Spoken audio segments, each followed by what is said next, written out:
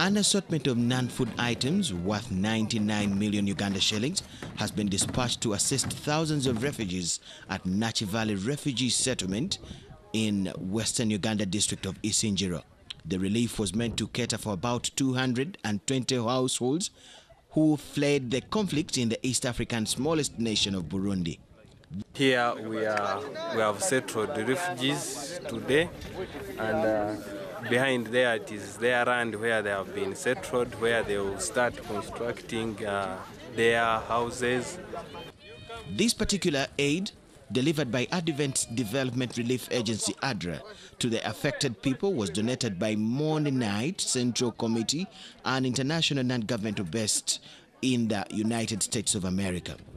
Over 10,000 people were displaced in Burundi, and majority of them fled to neighboring countries, with Uganda hosting the majority since the civil war broke out in April last year.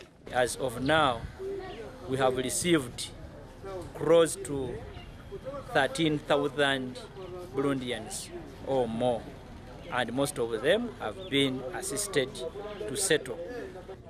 However, due to the overwhelming influx of the migrants, authorities are facing challenges at the camps. Our biggest concern right now is still in water and sanitation. As you see, El Nino is soon coming. We need to swiftly improve the sanitation coverage in the refugee areas where we have settled them. For instance, in providing with latrine facilities and other sanitation and other sanitation facilities that accompany it.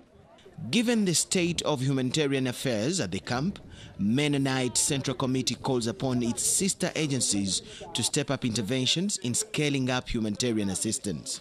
Like to appeal to other stakeholders, other NGOs uh, who are competent in this area and they have the resources and the funding to come in and, and, and help. ADRA Uganda has for many years worked with the government through the Office of the Prime Minister and other agencies intervening in disaster-related issues.